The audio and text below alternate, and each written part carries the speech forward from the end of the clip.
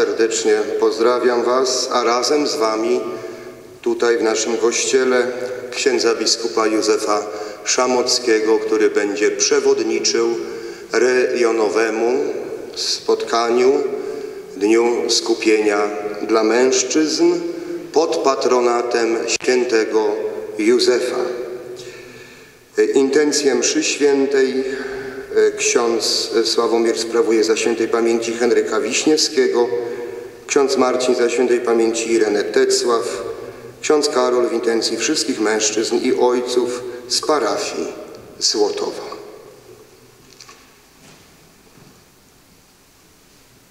W imię Ojca i Syna i Ducha Świętego.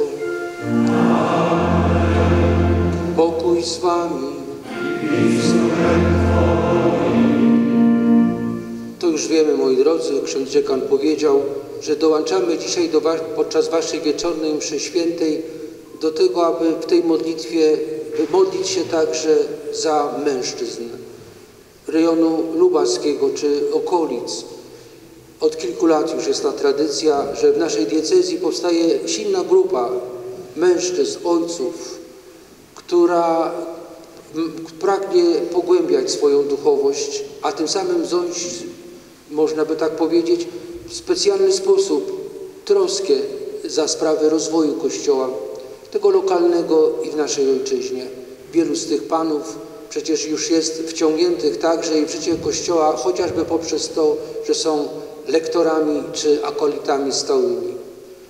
Bardzo to ważne, by modlić nie tylko u młodych ludzi, ale też i u dorosłych taką stałość w przekazywaniu wiary, bo młodzi patrzą na dorosłych. My wiemy o tym doskonale.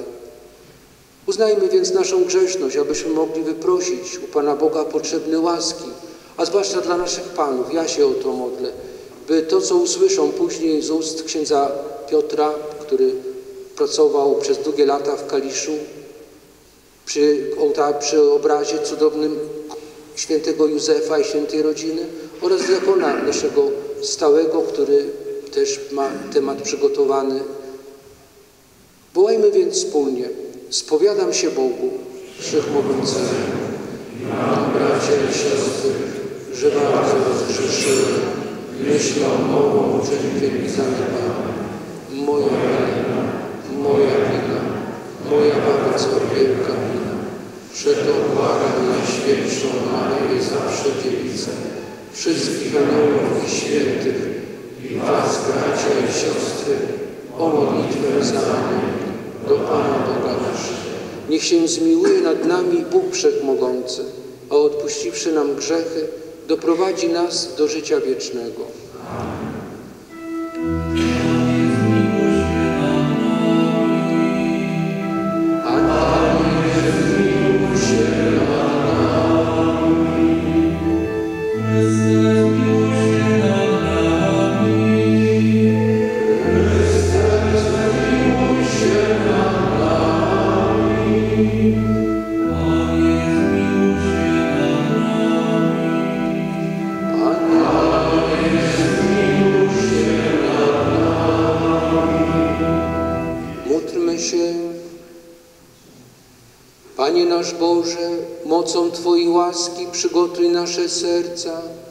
Abyśmy byli godni wziąć udział w uczcie wiecznego życia i mogli otrzymać pokarm niebieski z rąk Jezusa Chrystusa, gdy przyjdzie w chwale, który z Tobą żyje i króluje w jedności Ducha Świętego, Bóg przez wszystkie wieki wieków.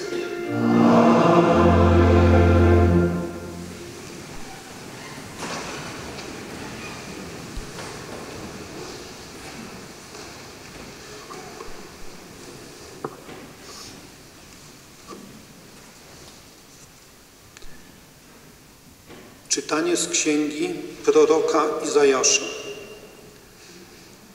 Pan zastępów przygo- przygotuje dla wszystkich ludów na tej górze ucztę z tłustego mięsa, ucztę z wybornych win, z najpożywniejszego mięsa, z najwyborniejszych win.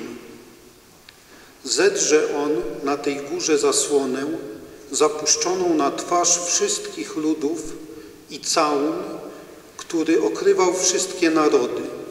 Raz na zawsze zniszczy śmierć. Wtedy Pan Bóg otrze łzy z każdego oblicza, zdejmie hańbę ze swego ludu na całej ziemi, bo Pan przyrzekł. I powiedzą w owym dniu, oto nasz Bóg, ten, któremu zaufaliśmy, że nas wybawi. Oto Pan, w którym złożyliśmy naszą ufność. Cieszmy się i radujmy z Jego zbawienia. Albowiem ręka Pana spocznie na tej górze. Oto Słowo Boże. On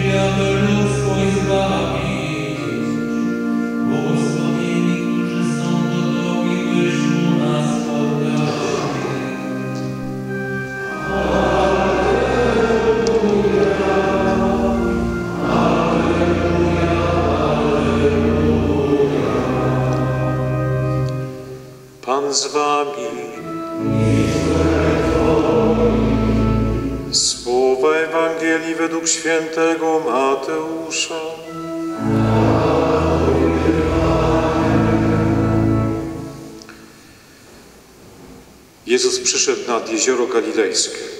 Wszedł na górę i tam siedział. I przyszły do niego wielkie tłumy, mając z sobą chromych, łomnych, niewidomych, niemych i wielu innych. I położyli ich u jego stóp, a on ich uzdrowił.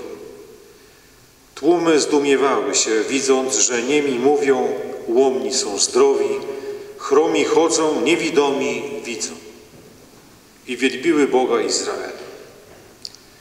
Lecz Jezus przywołał swoich uczniów i rzekł: Żal mi tego tłumu. Już trzy dni trwają przy mnie, a nie mają co jeść. Nie chcę ich puścić zgłodniałych, żeby ktoś nie zasłabł w drodze. Na to rzekli mu uczniowie, skąd tu na pustkowiu weźmiemy tyle chleba, żeby nakarmić tak wielki tłum? Jezus zapytał ich, ile macie chlebów? Odpowiedzieli, siedem i parę rybek. A gdy polecił tłumowi usiąść na ziemi, wziął siedem chlebów i ryby i odmówiwszy dziękczynienie, połamał, dawał uczniom, uczniowie zaś tłumu. Jedli wszyscy do syta, a pozostałych ułomków zebrano jeszcze siedem pełnych koszów. Oto słowo Pańskie.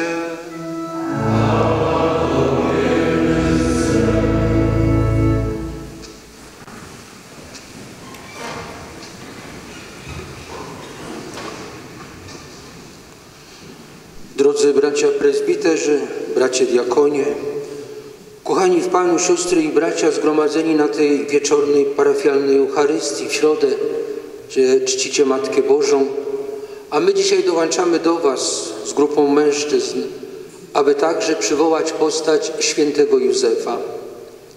8 grudnia dokładnie zakończy się rok Józefowy, który ogłosił papież Franciszek.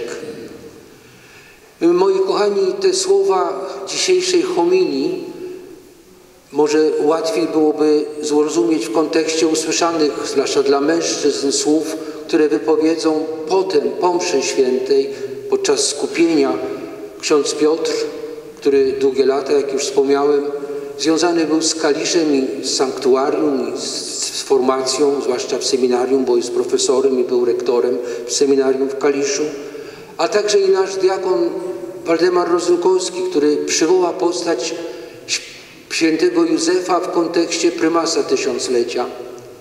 Dlaczego? Bo, moi drodzy, takim podsumowaniem jak gdyby przywołania tych dwóch postaci jest to, co chcemy sobie powiedzieć w tej homilii. A mianowicie i święty Józef, ten rok świętego Józefa, by go nie zmarnować, ale także i prymas tysiąclecia w jakimś sensie są dla nas wezwaniem do tego, aby wziąć odpowiedzialność za Kościół.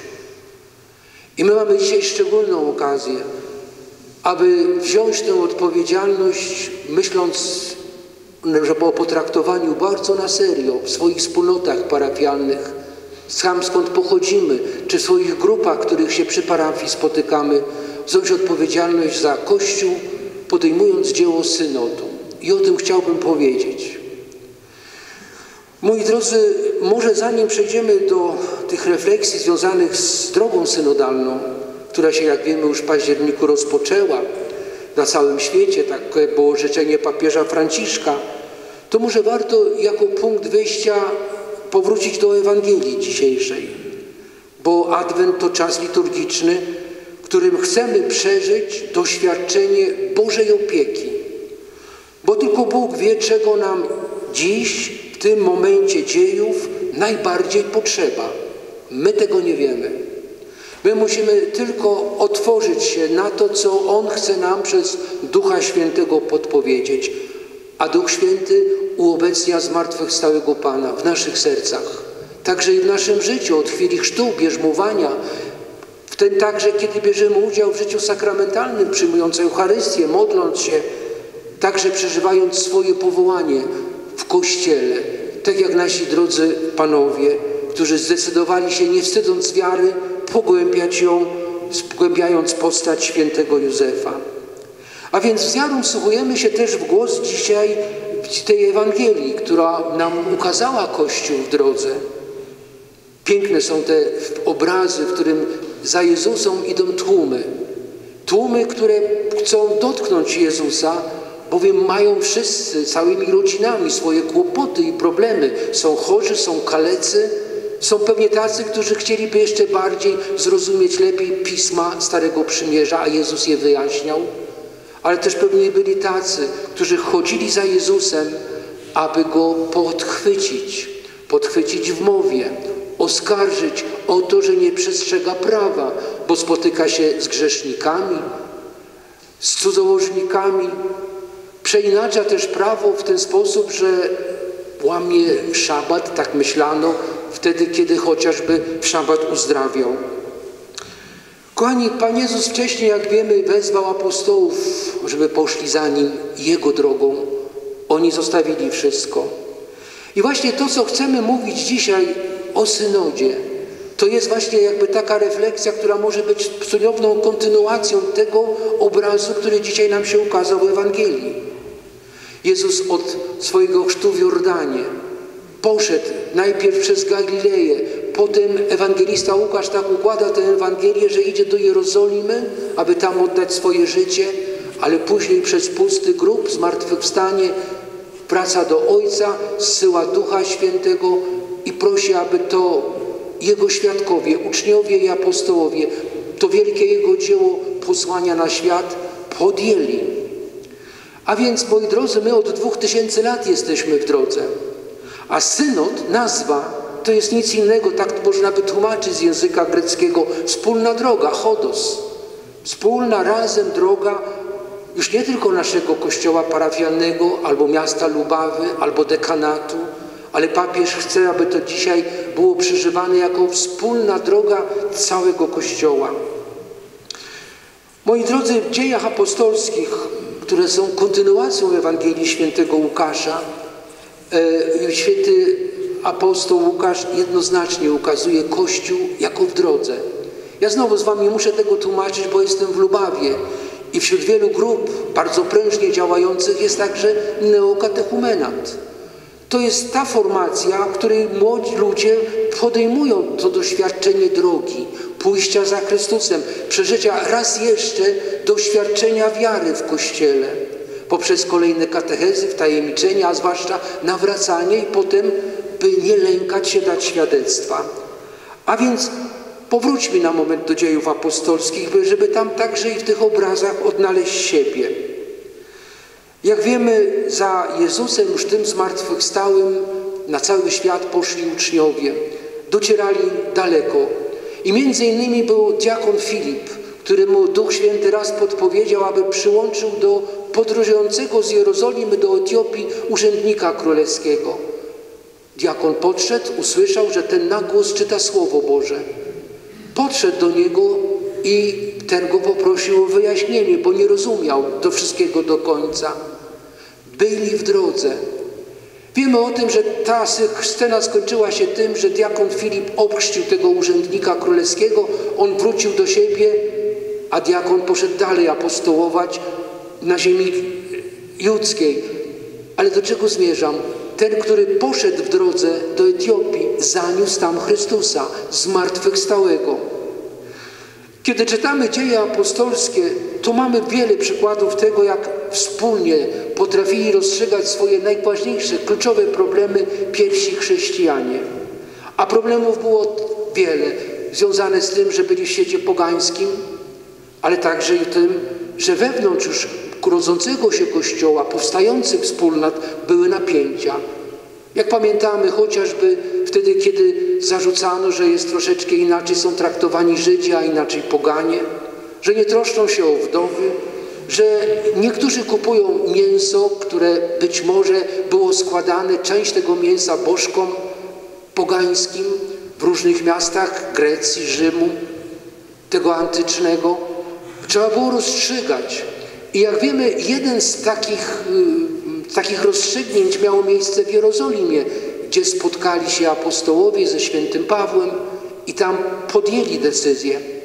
Owocem takiej wymiany myśli, tego jak Kościół wędrował przez świat, tego jak musiał zmagać się z problemami, które wniósł, podnosił pogański świat, także i do mentalności Kościoła, ale też jakże wyzwolić się z tego, żeby nie stać się niewolnikami Starego Przymierza. Moi drodzy, owocem były postanowienia. Pamiętamy, że na, na przykład ustanowiono diakonów, na przykład, że stwierdzono, że nie potrzeba obrzezania jako znaku Starego Przymierza, bo mamy nowe przymierze, Eucharystię. To jest ten nowy znak. Ustanowiono także i to, żeby nie być, nie, nie, nie stawać się gorszycielem. To znaczy unikać takich momentów, w których mogliby poganie pomyśleć, że my jesteśmy dwulicowi. Trzeba być po prostu jednoznacznym w wyznawaniu Chrystusa, pójścia za Nim. A więc, moi drodzy, synody się zaczęły rozwijać bardzo szybko w Kościele. W starożytności możemy czytać, że było ich bardzo dużo, a potem i w czasach średniowiecza i nowożytnych zwoływali je biskupi. Często postanowienia kościołów lokalnych były także przejmowane przez inne, sąsiednie kościoły. Myślę o regionach, o prowincjach Europy, a potem już w czasach nowożytnych tego na nowo odkrywanego świata. Kochani, celem zawsze było poszukiwanie rozwiązań prawnych związanych z liturgią, kultem świętych, ustanawianiem nowych świąt czy formułowanie dogmatów. I teraz za, zaskoczył nas trochę papież Franciszek, bo on zwołał kolejny synod. Ma on trwać aż dwa lata, a ten synod ma być takim synodem, w którym będą brali udział wszyscy chrześcijanie na całym świecie. Każdemu jest to zaproponowane. Moi drodzy, w dekretach pasterskich o zadaniach biskupów w Soborze Watykańskim II czytamy takie, takie zdanie. Obecny Święty Sobór Powszechny wyraża życzenie, by czcigodne instytucje soborów i synodów nabrały nowej mocy, dzięki czemu można by należycie i skuteczniej zatroszczyć się o wzrost wiary, zachowanie karności w różnych kościołach stosownie do okoliczności czasu. I wiemy, że po Soborze Watykańskim II synody zwoływali Paweł VI, Jan Paweł II, papież Benedykt i Franciszek. Ale teraz właśnie zaskoczył tym, że nie wyznaczył konkretnego tematu na konkretny dzień, żeby się zjechali tam na miesiąc przedstawiciele różnych kościołów z całego świata do Rzymu, tylko chciałaby Sobór, ten synod rozpoczął się od rozmów podstawowych wspólnot, jakimi są parafie i grupy, które są w parafiach. Adhortacje posynodalne, moi drodzy, były zawsze takimi, które dawały pewne światło i wierzymy w to ogromnie mocno, że to, co my będziemy przeżywać, także stanie się źródłem światła dla synodu, który będzie ukoronowaniem potem w Rzymie, bo ten materiał zbierany będzie od nas. Myśmy w latach 90. pamiętali, pamiętacie, może starsi, przeżywali synod plenarny w waszej ojczyźnie. Kiedy nastała diecezja toruńska, biskup Andrzej też zwołał synod i pamiętam jak z waszej parafii, chociażby z pobliskich Mortęg, przyjeżdżali przedstawiciele wybrani przez was na nasz synod do Torunia. I bardzo mądre podpowiedzi padały, bo łączyliśmy pewne tradycje stare z nowymi, z nowymi wyzwaniami. Kochani, wypracowaliśmy statuty, ale tym razem papież Franciszek nie chce, przynajmniej na tym etapie, w którym my mamy się z sobą spotykać, byśmy podejmowali się jakichś końcowych wniosków. Zwołał papież synod na temat synodalności. Mają, ja powtórzę to jeszcze raz, w tej początkowej fazie wszyscy wierni udział, w jak największej liczbie. Ale nawet można zaprosić ludzi innych wyznań, albo takich, którzy się interesują Kościołem, a na przykład są niewierzący. Być może to jeszcze nie problem w Polsce, chociaż powoli, jak wiemy już, też on nas zaczyna dotykać, ale na pewno w Europie Zachodniej, w Ameryce. Kiedy papież Franciszek spotkał się z nami podczas wizyty ad limina, myśmy także go pytali o ten synod, bo on się akurat w tym samym czasie zaczynał. Nawet naszej diecezji my biskupi nie mogliśmy go rozpoczynać uroczyście w Toruniu. Było to w sanktuarium Miłosierdzia Bożego na Koniuchach. Był tylko delega, wydelegowany kapłan, który przewodniczył liturgii przez biskupa Wiesława. Bo ten synod ma nazwę Komunia, Uczestnictwo i Misja. Jak papież wyjaśnił, zapytany, dlaczego taki jakby rozmyty troszeczkę ten temat na samym początku, wyjaśnił źródła, o co mu chodzi. Posłuchajcie, bo to nie jest zdrada tajemnicy żadnej, on to publicznie mówił. Pewnie tego prasa nie będzie publikować, bo, bo, bo myślę, że o to nikt nie będzie pytał. Nie będzie też na ten temat jakichś specjalnych opracowań, artykułów, ale papież się dzielił swoim doświadczeniem. Zaczął od tego. Miał takie trzy obrazy. Pierwszy, kiedy był młodym biskupem, arcybiskupem Buenos Aires, został posłany na synod, który zwołał Jan Paweł II, już teraz święty. I tam oni się zgromadzili, rozważali, synod dobiegał końca, trzeba było końcowy dokument tej grupy sporządzić. I kardynał, który tej grupie przewodniczył, zachorował. I w ten czas papież Franciszek mówi, sam Ojciec Święty Jan Paweł II podszedł do niego mówi, słuchaj, niech ksiądz to weźmie, ksiądz arcybiskup, bo ważne jest też, aby i z waszej grupy jakieś stwierdzenia, zdania, to coście o czym dyskutowali, ukazało się na światło dzienne. Papież Franciszek mówi, ja się tym przejąłem.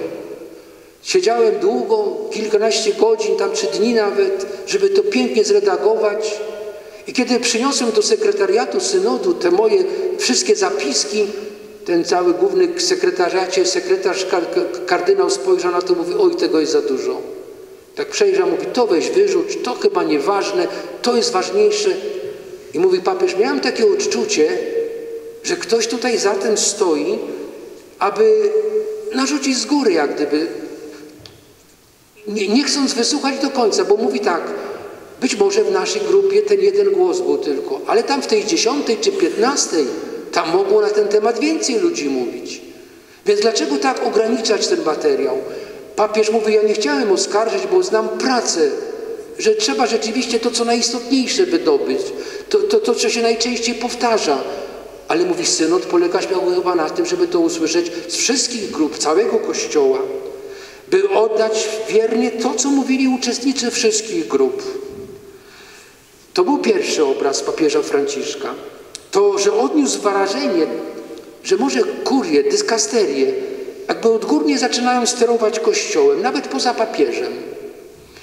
Kochani, potem podał drugi przykład synodu w Amazonii. Myśmy oczy otwierali, bo papież się bardzo szczerze dzielił. Tym razem, mówił papież, to uczestnicy z Ameryki Południowej przywieźli gotowe rozwiązania. Niektóre jako święceniach mężczyzn żonatych, tak zwanych viri probati, wyciekały te, te, te niektóre rozwiązania do prasy. Zanim jeszcze cokolwiek powiedziane było, dyskutowane na synodzie, to już prasa się rozpisywała, że będzie wielka rewolucja, że w Amazonii będą święcić mężczyzn żonatych, bo tam brakuje powołań i brakuje księży. No i rzeczywiście, moi drodzy, papież mówi, kończy się synod, dostaje końcowy dokument do podpisania. Wziąłem, zaczynam czytać i tam jest o tym.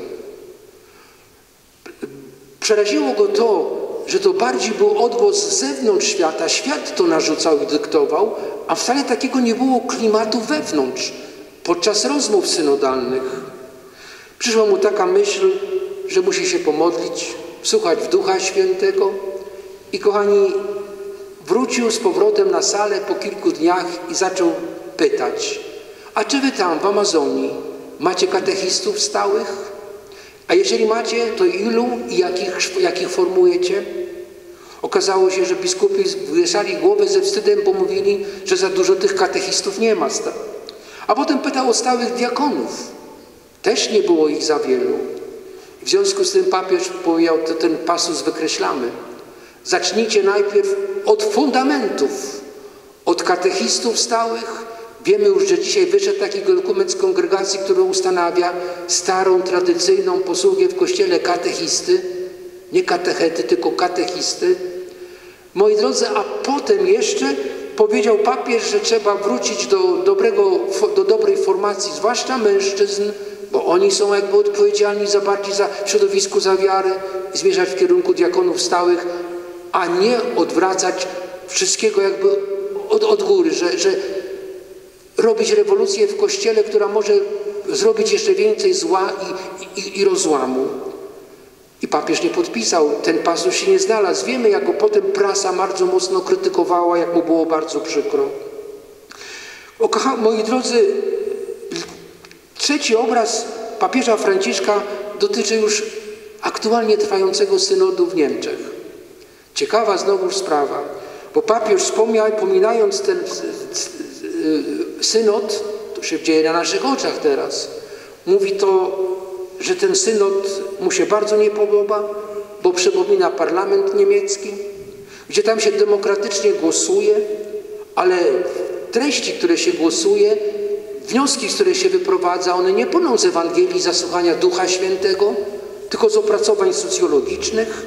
Metoda jakaś zupełnie współczesnego świata, a nie biblijna, nie ewangeliczna.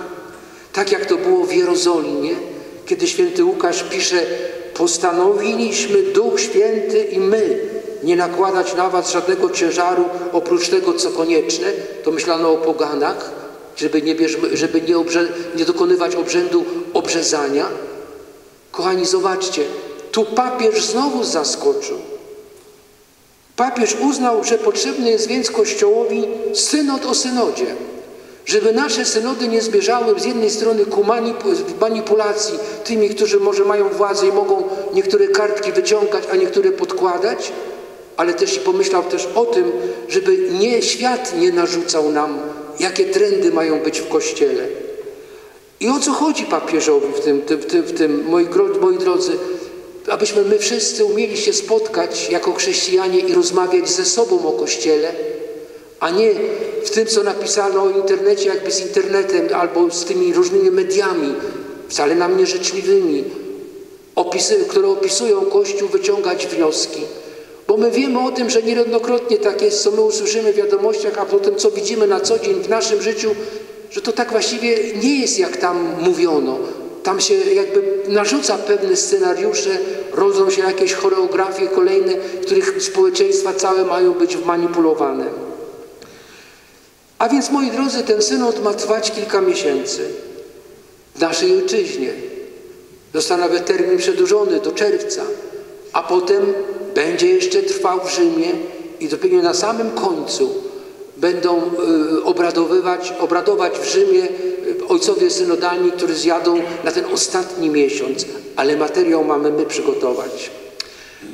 Z tym, że znowuż jest to faza, w której mamy uczyć się spotkać ze sobą, słuchać, wypowiadać jeden drugiego.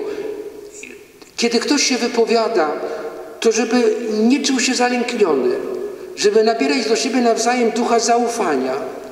Papież mówi, że chodzi bardziej o umiejętność spotkania i bycia ze sobą.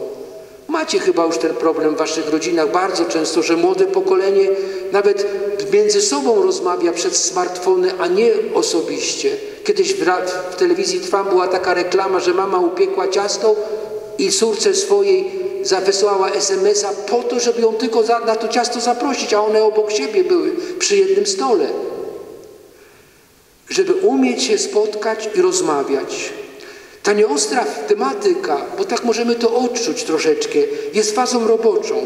Ma nie ma być uśpieniem, ale ma sprowokować przebudzenie takiej naszej podmiotowości osób świeckich, duchowieństwa, osób konsekrowanych w duchu współodpowiedzialności za Chrystusowy Kościół w świecie przez otwarcie na Ducha Świętego. Stąd w tym synodzie jest nacisk na liturgię i na modlitwę. Skoro świat przestała interesować teologia, a jej miejsce zajmuje ekologia, klimat, gender, to choć nie możemy iść w tym kierunku wyznaczonym przez świat, moi drodzy, to jednak musimy na fundamencie teologii, wspólnej modlitwy, szukać jakichś punktów stycznych, by razem ze światem już duchu Ewangelii też mieć wspólną drogę, żeby nie okopać się zupełnie jak w takim getcie jako chrześcijanie. Papież w ten sposób także wytłumaczył, dlaczego ten cel napisania tej jego adhortacji encykliki Fratelli Tutti o, o przyrodzie zapatrzony w świętego Franciszka. Mówi, bo to jest jedyny styk, żeby jeszcze ze światem móc rozmawiać i przemycić tam nasz chrześcijański punkt widzenia na dzieło stworzenia, na odpowiedzialność człowieka za dzieło stworzenia, na pewną etykę w tym, jak wykorzystujemy zasoby ziemi, jak o nią dbamy, także i w relacjach potem między sobą, żeby jeden drugiego nie wykorzystywał. Mamy uczyć się więc spotkać ze sobą, przebić bańki, mury getta, umieć stworzyć taki klimat, gdzie po prostu będziemy się czuli wolni w wypowiedzeniu na ten konkretny usłyszany temat. Spotkania mają trwać około dwóch godzin. najlepiej w grupach 15-osobowych, plus dwie osoby, jedna prowadząca i sekretarzująca. A więc modlitewna cisza, potem każda z osób przez trzy minuty ma możliwość wypowiedzi, którą słuchamy, ale nie dopytujemy i nie komentujemy. Każdy wypowiada się w kluczu opisu faktów wspólnej drogi, związanych nadziei i obaw. Po pięciominutowej przerwie, ciszy i modlitwie znowuż druga runda wypowiedzi. I teraz powinniśmy mówić tak, co jako echo w tym, co kiedyś ty się wypowiadał, dotknęło mnie najbardziej. Moi drodzy, to jest przecież niejednokrotnie historia domu rodzinnego. Jak nieraz wielopokoleniowo się żyje, rodzice, teściowie, r- r- r- dzieci, a może i wnukowie. I kiedy nieraz gdzieś tam się spotkają, to potem mama i tata otwiera oczy, albo dziadek czy babcia. Przecież tym czemuś mi tego nie powiedział. Ja to zupełnie inaczej myślałem, dlatego tak, a nie inaczej postąpiłem, nie chcąc ani urazić. Rozumiemy się, co chcę powiedzieć. Jest tak, bo my nie mamy czasu ze sobą rozmawiać. Nieraz się naprawdę gdzieś obok siebie mijamy i sądzimy, że dobro robimy dla drugiego człowieka. Kochani, trzecia runda po takiej samej pięciominutowej przerwie ma być czasem dzielenia się tym, co czuję po tym dzieleniu. Jakie noszę w sobie jakieś nowe obrazy, metafory, czym się ubogaciłem. Warto posłuchać w tym kontekście nagrań profesora Bańki. Yy, Na naszej stronie diecezjalnej pod zakładką synod możemy to spotkać. Yy, Niecałe 20 minut. On brał udział w uroczystym otwarciu synodu w Rzymie jako polski delegat, przedstawiciel świeckich. Był w grupie angielskojęzycznej. Z wszystkich kontynentów byli przedstawiciele. I mówi tak, że na początku też się jakoś tak troszeczkę no, bali tej rozmowy. Ale padło pytanie, nikt nikogo nie komentował, każdy wypowiedział sobie z kontynentu indyjskiego, z Ameryki, z Afryki, e, z Europy. I potem się okazało, że jak już była końcówka, to oni się ani nie pokłócili, a wręcz przeciwnie, zapragnęli jeszcze bardziej sobą rozmawiać i ubogacać się, odkrywając punkty widzenia czy sposób przeżywania Kościoła, liturgii y, w, w, w, w konkretnych sytuacjach, w których oni y, po prostu żyją. Y, Kochani, jeszcze raz, mamy się uczyć budować mosty, umieć z sobą rozmawiać, bo to już jest największy dramat we współczesnym świecie. A jaki jest cel synodu? Chodzi o głębsze poznanie zamysłu wiary w konkretnych sytuacjach, a nie o zmiany dotychczasowego nauczania papieży czy kościoła. Nie lękajmy się tego. Bo ostateczny głos, tak jak to było w synodzie amazońskim, należy i tak do papieża, a nie do, do przeważającej grupy wiernych albo stojących z daleka od Kościoła. Powstanie więc synteza najważniejszych myśli, jednak bardziej chodzi o wydobycie emocji, myśli, pewnych doświadczeń, pragnień także związanych z Kościołem i troskę o Jego przyszłość, a zwłaszcza obecność w tym współczesnym, rozpędzonym świecie. Synodalność ma się po prostu stać sposobem naszego życia i postępowania. Realizacją dotąd niespełnionej wizji Kościoła, którą Sobór tylko przypomniał. Przywołaliśmy ten cytat. Od samego początku taki, taki był Kościół. Dzieje apostolskie świadczą o tym bardzo mocno i historia Kościoła. A więc, moi drodzy, wracamy gdzieś tam bardzo mocno do korzeni. Ma się wyłonić prawdziwy obraz Kościoła Chrystusowego w drodze, jako wspólnoty, komunii z Bogiem i ludzi między sobą, świadomych swojego miejsca w Kościele, odpowiedzialnych za Jego przyszłość, uczestniczących w misji Kościoła w świecie jako kontynuacji misji Chrystusa. Nie dziwi więc sformułowanie tematu dla Kościoła synodalnego komunia, uczestnictwo i misja. Tak jest, mamy wzajemnie siebie słuchać.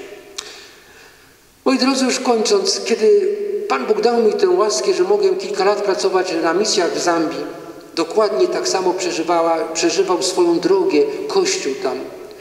Ja byłem sam jeden proboszczem, 18-tysięczna parafia, slamsy 80 tysięcy, poganie i ludzie innych wyznań. Podtrzymywanie wiary, dzielenie się wiarą, troska o parafię polegało na tym, że po niedzielnej Eucharystii chrześcijanie spotykali się w małych grupach i rozmawiali o problemach, które zaistniały, o tym, jak przystosowywać właśnie swoją wiarę do tego, aby w tych trudnych warunkach biedy, slamsy przecież, opowiadać o Chrystusie, żyć Ewangelią. Domek się zawalił, czy tam jakaś chatka, czy ktoś zachorował, czy jakieś nieszczęście inne spotkało, albo ktoś nie przy, wahał się, czy przyjąć sakramenty. Rozumiemy się, oni o tym rozmawiali ze sobą. Mieli umiejętność też dzielenia się Pismem Świętym, nawet analfabeci. Cztery sposoby. Bo jak nie było problemu, to czytano raz jeszcze Ewangelię i w ten czas dzielono się tą Ewangelią. Co Cię w tej Ewangelii najbardziej dotknęło? Co jakby w Twoim życiu? Tak jak moglibyśmy mówić o dzisiejszej Ewangelii, prawda? Co Ciebie dotknęło, kiedy słyszałeś o tym, że za Jezusem szły tłumy, On uzdrawiał, a potem jeszcze rozmnożył chleb? Moi kochani, to doświadczenie pamiętam też do, do, dokładnie. Kiedy zostałem już ojcem duchownym w Pelplinie po powrocie z Zambii w 1988 roku, to doświadczenie zostało też przeniesione na formację kleryków. Pamiętam dokładnie, jak przyszli do mnie diakoni i powiedzieli, ojcze, nas jest 250, mamy trzy kaplice, diakonie osobno, teologia osobno, filozofia osobno. My razem chodzimy obok siebie, ale my naprawdę się nie znamy. My nie potrafimy nieraz ze sobą rozmawiać. I wtedy spadliśmy na pomysł, aby utworzyć tak zwaną teologię przedziału kolejowego. To znaczy, jak pamiętacie, dawne pociągi, druga klasa, osiem osób, czterech naprzeciwko siebie siedziało i czterech i wyobrażaliśmy sobie, że siadamy w Gdyni do pociągu, jedziemy do Zakopanego. I teraz jaka będzie atmosfera, co tam się wytworzy, będzie zależało tylko od tych ośmiu rozmawiających ze sobą.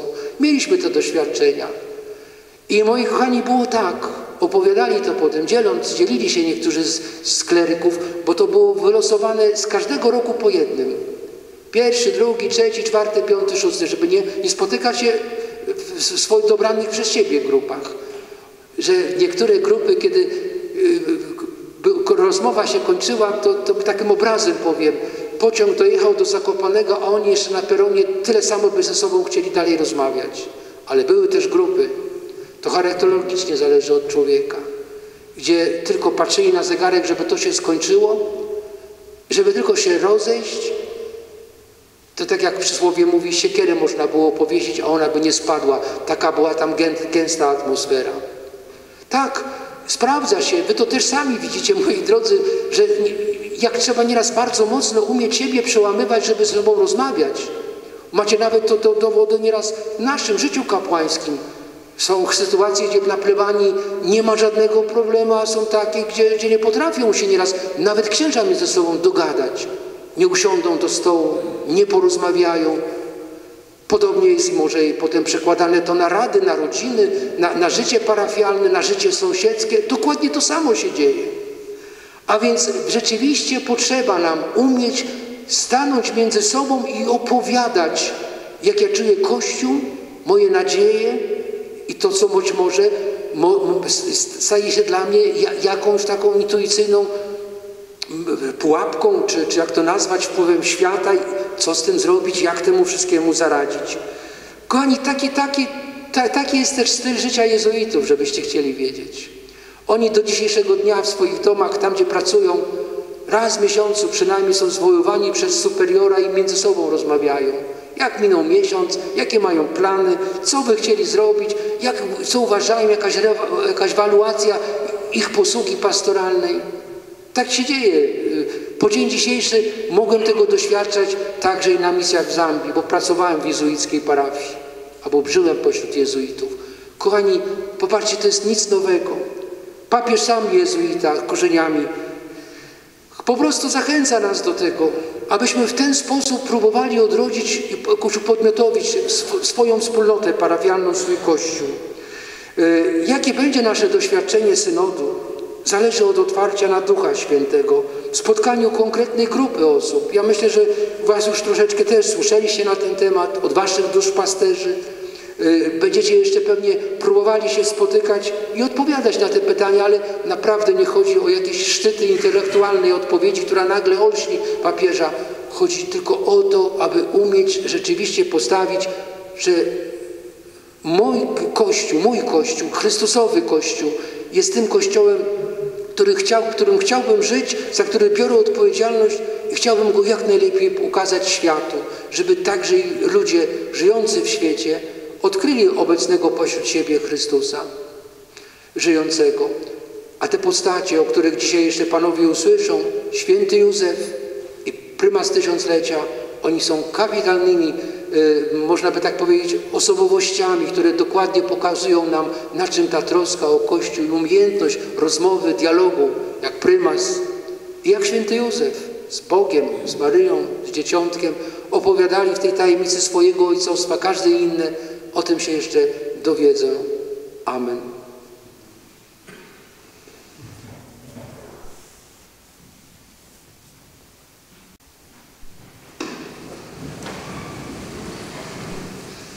A teraz w pełni ufności zanieśmy do dobrego Boga Ojca w niebie nasze modlitwy, prośby.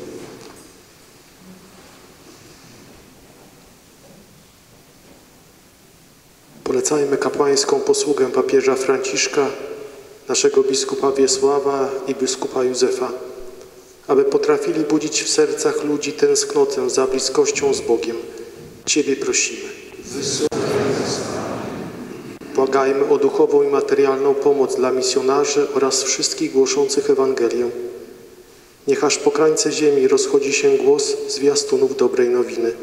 Ciebie prosimy. Wysłuchaj nas. Wspomnijmy o tych, którzy utracili wiarę. Niech Pan ich odnajdzie, oświeci i przyprowadzi do swojej owczarni. Ciebie prosimy. Przywołajmy tych, którzy już odeszli. Świętej pamięci Henryka Wiśniewskiego i świętej pamięci Irenę Tecław. Niech ten, w którym złożyli całą nadzieję, pozwoli im się cieszyć z owoców zbawienia. Wieczny odpoczynek racz im dać Panie. Módlmy się w intencji wszystkich mężczyzn i ojców z parafii Złotowo. Ciebie prosimy. Przedstawmy Panu w ciszy nasze osobiste sprawy i prośby.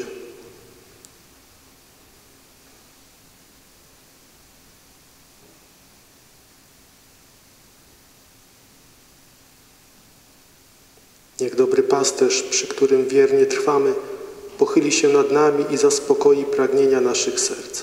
Ciebie prosimy.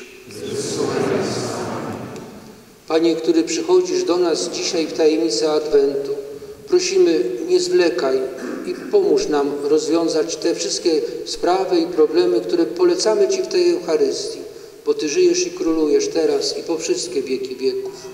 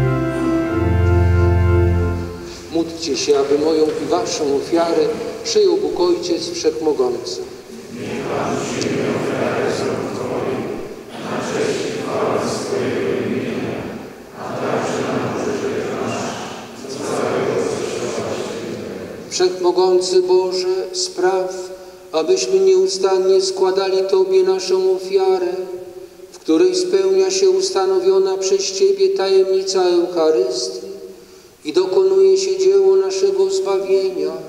Przez Chrystusa Pana naszego. Pan z wami. Górę serca. Dzięki składajmy Panu, Bogu naszemu. Zaprawdę godne to i sprawiedliwe, słuszne i zbawienne, abyśmy zawsze i wszędzie Tobie składali dziękczynienie, Panie Ojcze, święty, wszechmogący, wieczny Boże, przez naszego Pana Jezusa Chrystusa. On przez pierwsze przyjście w ludzkiej naturze spełnił Twoje odwieczne postanowienie, a nam otworzył drogę wiecznego zbawienia.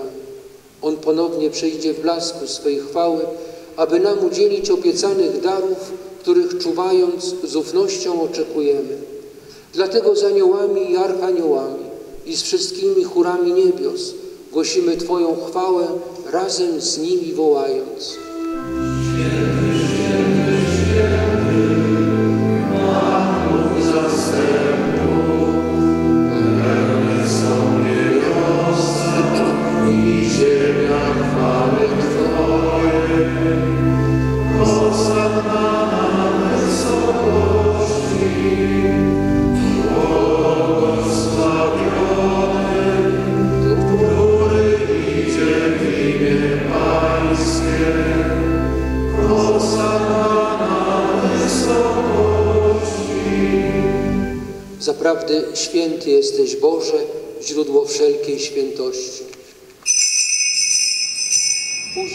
Te dary mocą Twojego Ducha, aby stały się dla nas ciałem i krwią naszego Pana Jezusa Chrystusa.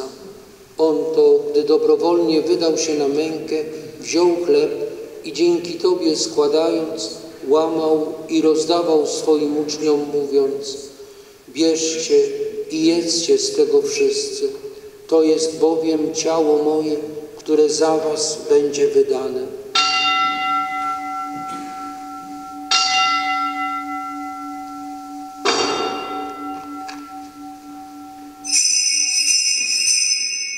Podobnie po wieczerzy wziął kielich i ponownie dzięki Tobie składając, podał swoim uczniom mówiąc Bierzcie i pijcie z niego wszyscy. To jest bowiem kielich krwi mojej, nowego i wiecznego przymierza, która za was i za wielu będzie wylana na odpuszczenie grzechów. To czyńcie na moją pamiątkę.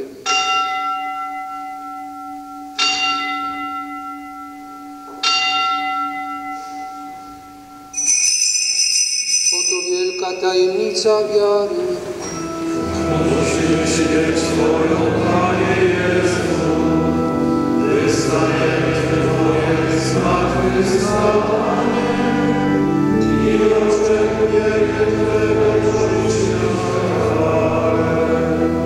Wspominając śmierć i zmartwychwstanie Twojego Syna, ofiarujemy Tobie, Boże, chleb życia i kielich zbawienia i dziękujemy, że nas wybrałeś, abyśmy stali przed Tobą i Tobie służyli. Pokornie błagamy, aby Duch Święty zjednoczył nas wszystkich, przyjmujących ciało i krew Chrystusa. Pamiętaj Boże o Twoim Kościele na całej ziemi. Spraw, aby lud Twój wzrastał w miłości razem z naszym papieżem Franciszkiem, naszym biskupem Wiesławem, biskupem Józefem oraz całym duchowieństwem. Pamiętaj także o naszych zmarłych braciach i siostrach, którzy zasnęli z nadzieją zmartwychwstania i o wszystkich, którzy w Twojej łasce odeszli z tego świata. Dopuść ich do oglądania Twojej światłości.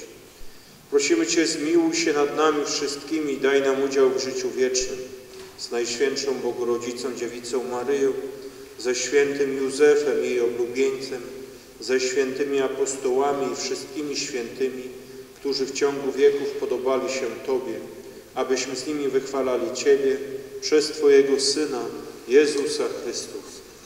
Przez Chrystusa, z Chrystusem i w Chrystusie, Tobie, Boże Ojcze Wszechmogący, w jedności Ducha Świętego, wszelka cześć i chwała przez wszystkie wieki wieków.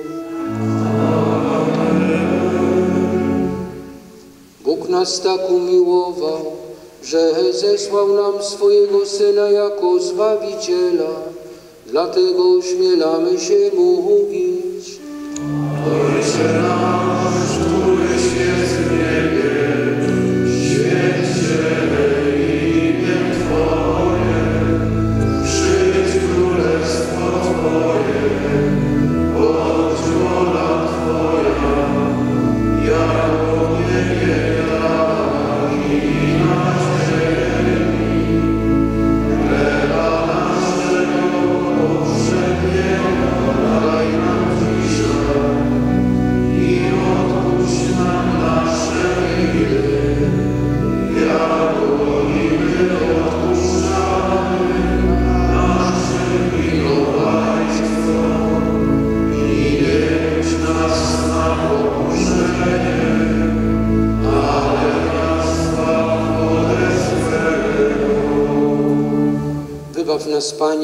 wszelkiego i obdarz nasze czasy pokojem.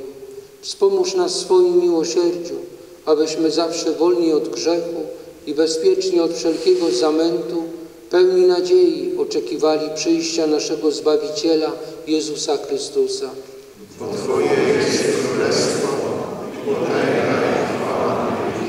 Panie Jezu Chryste, Ty powiedziałeś swoim apostołom, pokój Wam zostawiam, pokój mój Wam daję. Prosimy Cię, nie zważaj na grzechy nasze, lecz na wiarę swojego Kościoła i zgodnie z Twoją wolą napełniaj go pokojem i doprowadź do pełnej jedności, który żyjesz i królujesz na wieki wieków. Pokój Pański niech zawsze będzie z Wami. Przekażcie sobie znak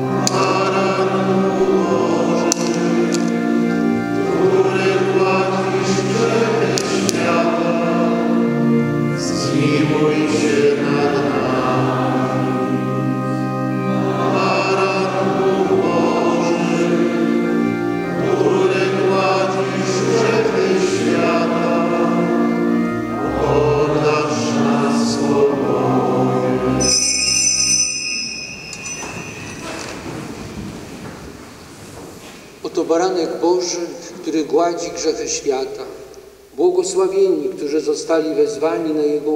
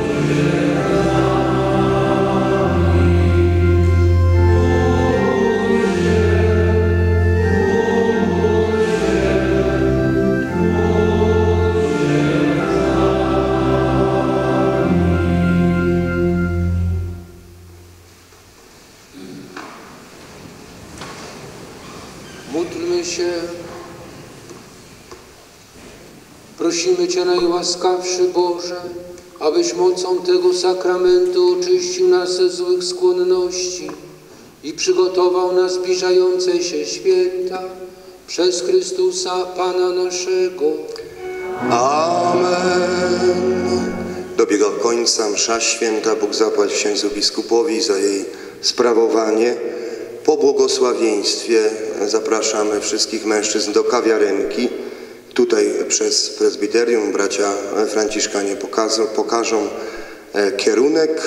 Mamy godzinę 10 po i za 20 e, spotykamy się znowuż tutaj w kościele na konferencji i zawierze, konferencjach i zawierzeniu świętemu Józefowi. Pan z Wami. Niech imię Pańskie będzie błogosławione. Teraz i na wieki. Wspomożenie nasze w imieniu Pana. Niech Was błogosławi Wszechmogący Bóg Ojciec, Syn Boży i Duch Święty. Idźcie W pokoju Chrystusa. Bogu niech będzie.